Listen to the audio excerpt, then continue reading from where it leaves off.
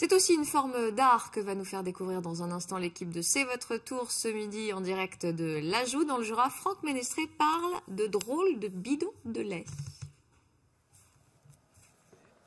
Bonjour, euh, bienvenue ici en direct euh, de l'Ajout. On est presque à la frontière euh, franco-suisse, hein, elle est juste là derrière nous. On est là pour vous parler d'une passion particulière et puis d'un photographe pas comme les autres, Gérard Benoît Laguillaume.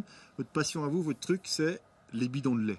Les bidons de lait, le monde rural en général, qui m'a fait tomber dans le bidon, effectivement. Comment c'est venu le bidon? C'est venu par, très rapidement par un travail sur l'anthropomorphisme, recherche des objets qui ont, un visage humain. Et pour le moment, j'ai jamais trouvé mieux que le bidon de lait. Et je suis arrivé avec, euh, avec ces bidons à en collecter plusieurs centaines maintenant et petit à petit à tomber dans ce qu'on appelle le land art et à, les installer dans les milieux naturels, dans les milieux urbains aussi, et m'apercevoir qu'ils étaient des surligneurs de paysages, de patrimoine qui valorisaient les sites dans lesquels on les installait. Alors justement, vous parlez d'anthropomorphisme à l'instant. Euh, ben, bidon, c'est un bonhomme, c'est un être humain quasiment, expliquez-nous. Et une des raisons qui font euh, la réussite d'une installation avec tous ces bidons, c'est la considération qu'on a de ces bidons comme personnages. Par exemple, ici, bon, il est en position normale. On peut le mettre en position euh, de, où il se dissimule un petit peu. On peut le mettre en position où il implore. On peut le mettre en position où il crie. Voilà, sa position normale, en général, c'est celle-là. Il est assez content là, de, participer à cette émission. Avec les trous du couvercle qui forment donc les, deux yeux, hein, quand on prend bien le, bon angle en face, la bouche, et puis euh, les deux petits bras avec les... de mettre un, de mettre un, un, œil au milieu, là. On en fait un cyclope. Hein. Voilà, bien. C'est vos bébés, les, bidons. Ils ont un petit nom, je crois, une certaine affection pour eux. Beaucoup sont parrainés, sont marrainés. Euh, ils, sont, ils sont suivis par, euh, par pas mal de personnes euh, qui, qui s'y intéressent. Et moi, j'en ai besoin, effectivement, dans le cadre de, mon travail. votre travail, c'est un travail de photographe. Je vais vous abandonner parce que vous avez des assistants? Je vais vous laisser justement aller rejoindre quelqu'un pour faire des photos. Et moi, je vais me déplacer parce que des bidons, il en a près de 300, Gérard. Et donc, forcément, pour les installer, comme on les devine derrière nous là, dans des paysages un petit peu partout, et eh ben, il faut des assistants. Et aujourd'hui, à ses assistants. Euh, c'est Daniel. Euh, bonjour Daniel. Bonjour. Euh, vous habitez, je crois, pas très loin ici. Vous avez une ferme Un chalet en dessous. Un chalet juste en bas.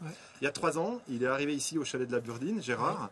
Et vous l'avez vu arriver. Vous, vous aviez des vaches. Vous aviez déjà vu utiliser des, bidons de lait. Ah pour mettre du lait dedans.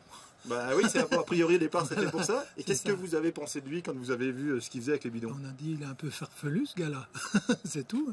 Et puis pour finir, on est bien copains finalement, ça s'est bien Ça s'est bien arrangé. Maintenant, vous lui donnez la, main pour installer ses bidons. La, main. Merci beaucoup, Daniel. Je vous abandonne parce que Gérard, ça y est, il est, en, place.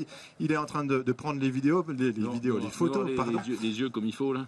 Euh, Gérard, je vous, je vous interromps. Voilà, là. Ah, bah, allez, non, vous prenez la photo Allez-y, je vous ah, laisse prendre la photo. Et revenez vers moi après qu'on vous voit bien. Voilà, donc il s'appelle comment celui-là? Zélie? C'est Zélie celui-là. Gérard, la photo, c'est venez vers moi. La, photo, c'est la finalité de, votre, art. C'est vraiment ce que. c'est un, élément indispensable. Le land art euh, a une, composante euh, essentielle, c'est qu'il est éphémère. Donc il faut un média pour fixer euh, ce qu'on fait en land art. Ça peut durer deux secondes, trois secondes. Ici, ça peut durer une journée, une demi-journée, et on a effectivement besoin de la photographie. Et ça contribue aussi à aller dans, euh, dans l'état d'esprit qu'elle vôtre quand vous avez ici euh, réacheté euh, ce chalet qui est, derrière nous. la Burdine, vous voulez être en autosuffisance. Donc faire de la photo, ça permet aussi de, vendre des images que, vous allez pouvoir récupérer de l'argent pour, pour être en autosuffisance ici. Voilà, et aussi le chalet par lui-même essaye de, de, de, se financer un petit peu par la location du pâturage, et ici 40 génisses en été en pâture. Et puis euh, je peux aussi avoir, euh, je peux vendre un petit peu de bois. Je peux, j'essaye de faire que ce chalet génère un petit peu de, de, produit pour euh, sa restauration. Toujours, alors Bidon sans frontières, hein, c'est ça le nom de la structure avec laquelle vous vous déplacez. On va voir des images tout de suite qu'on avait tournées il y a une dizaine d'années, Gérard, quand vous étiez parti installer vos bidons sur l'île de Groix. On va regarder ça. Avec vous, très cher. Euh, ouais, ça rappelle une sacrée aventure. Alors, c'était quoi l'idée sur l'île de Groix, justement? Bah, L'île de Groix, c'était tout à fait au début, il y a une dizaine d'années. Et euh, l'idée, c'était d'avoir des que ces bidons se déplacent un petit peu partout, découvrent le monde. Et vous êtes venu ici pour, pour filmer toutes ces pérégrinations. Ils sont allés à l'île de Groix, avec vous on est allé au pied de la Jungfrau, à Mannlichen, on est allé sur le lac des Taillères, prendre des risques sur la glace.